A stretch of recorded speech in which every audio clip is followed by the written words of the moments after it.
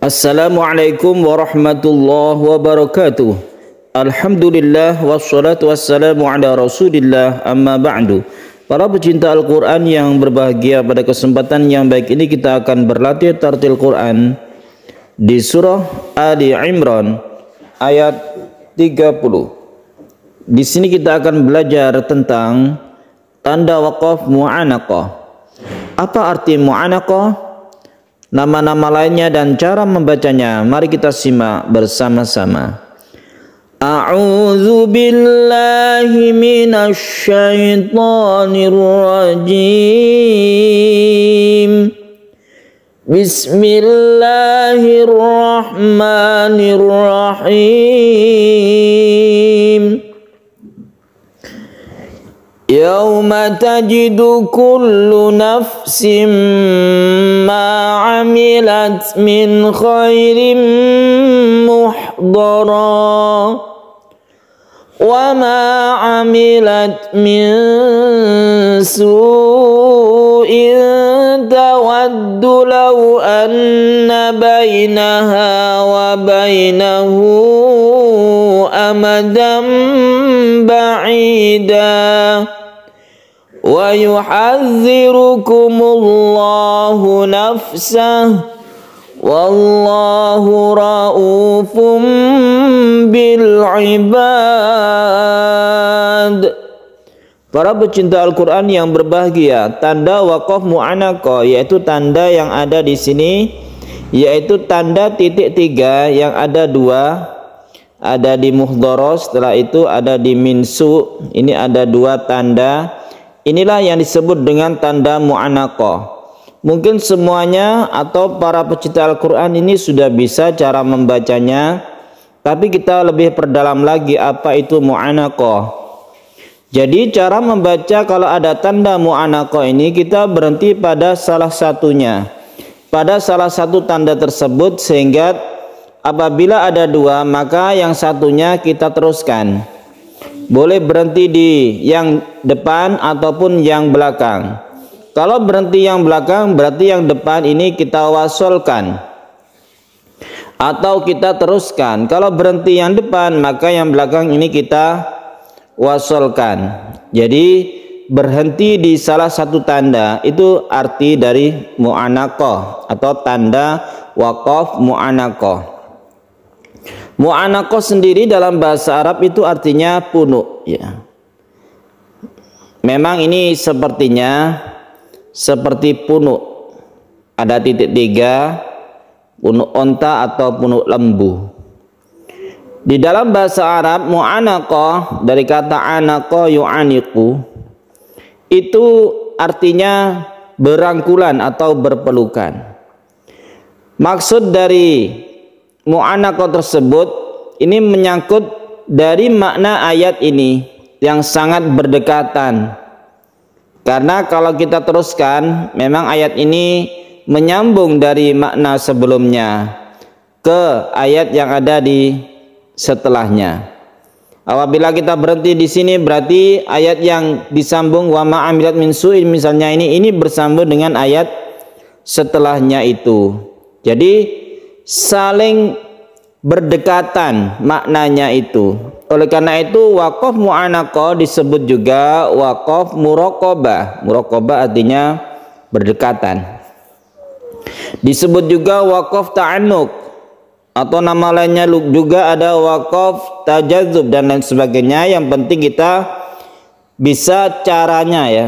Cara membacanya yaitu berhenti atau wakaf di salah satunya. Jangan terus semuanya atau wakaf semuanya. Kita memilih salah satu dari tanda wakaf tersebut. Kalau kita tadi contohkan kita berhenti di muhdoro. Sekarang kita contohkan kalau berhenti di suin berarti kita teruskan yang muhdoro.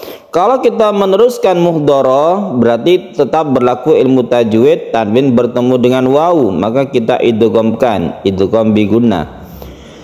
Yauma tajidu kullu nafsim ma amilat min khairin muhdara wa عملت من سوء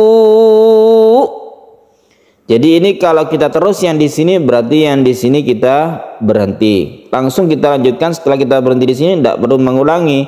Langsung di itawaddu.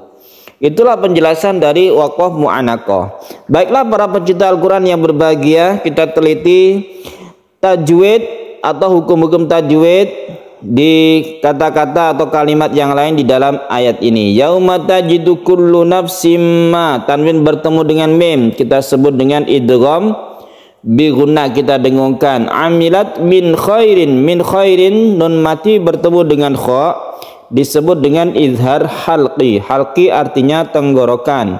Khairim muhdara tanwin bertemu dengan mim kita sebut idgham bi gunnah. Muhdara apabila kita berhenti di sini maka di sini berlaku mat iwat.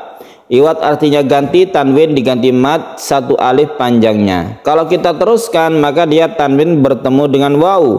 Idgham bi gunnah min su'in nun mati bertemu dengan sin ini dibaca ikhfa ikhfa artinya samar dan agak kita dengungkan min su su'in ini adalah mat wajib mutasil mutasil artinya bersambung dalam satu kata dan kita panjangkan dua setengah alif. Kalau kita teruskan ini tanwin bertemu dengan tak kita sebut dengan ikhfa. Anna bainaha anna guna musyaddada. Wa bainahu amadam ba'id wa bainahu ada hak dhamir yang diambil oleh dua huruf hidup dan salah satu huruf hidup itu atau setelah hak tersebut ada hamzah berarti dia disebut matsilah tawilah. Matsilah tawilah ini sama panjangnya dengan mad jaiz munfasil bisa satu bisa dua alif. Amadam ba'ida.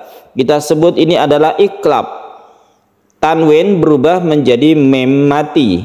Suaranya menjadi m. Amadam ba'ida itu namanya iklab.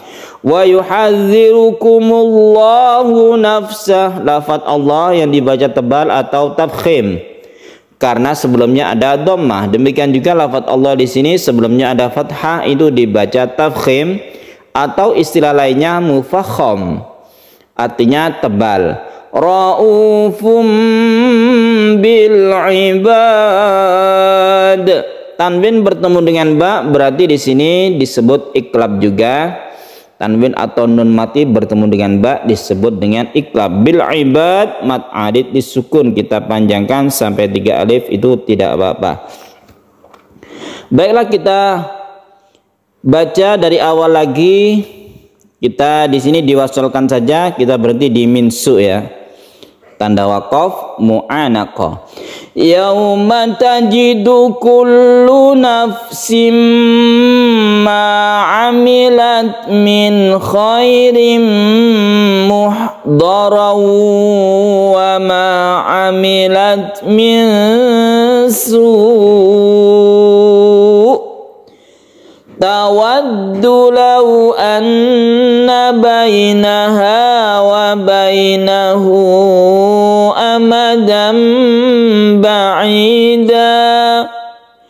ويحذركم الله نفسه والله رؤوف بالعباد Sadaqallahul azim Para pecinta Al-Quran yang berbahagia Demikian latihan tartil Quran kita Tahsin Quran kita Di surah Ali Imran ayat 30 Semoga bermanfaat. Wassalamualaikum warahmatullahi wabarakatuh